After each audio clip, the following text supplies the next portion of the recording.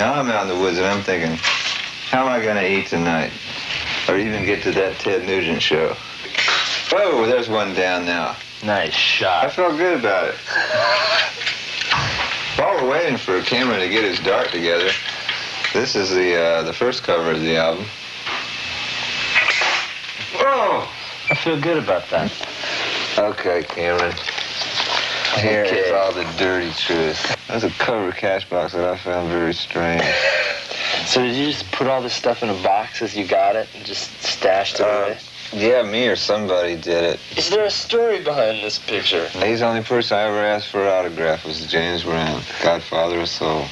This is the first night I ever met Campbell. We got banned from Germany for a while because of this. He had to be there.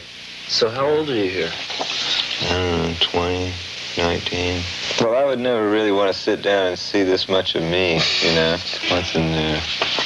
I think that's up in Santa Cruz a long time ago. This is the first letter I ever got back from a, a record company. Yeah, that really pissed me off, that cover.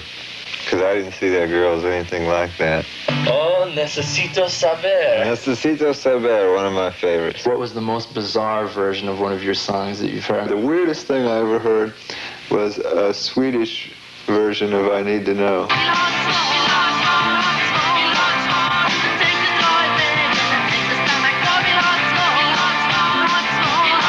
It is kind of a cute little record.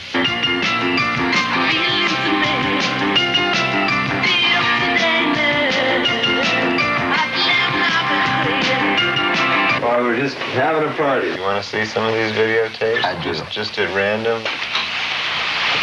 All of Hard Promises is on videotape. God, this is an old movie. Wait.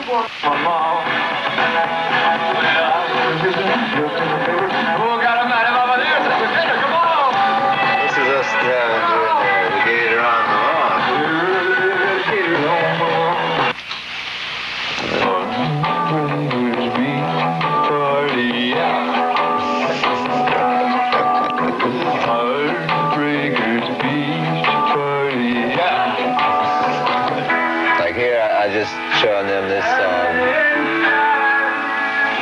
This is the first time anybody's hearing this. But we made this record that night, you know. We got it, just got lucky that night and got it. And if we'd been at rehearsal, we wouldn't have got it. You know?